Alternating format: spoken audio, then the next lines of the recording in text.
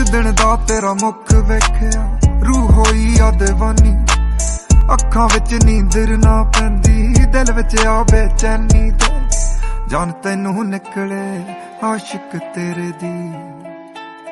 ਕਿੰਜ ਕਰਾਂ ਤਾਰੀਫ ਤੇਰੇ ਚ?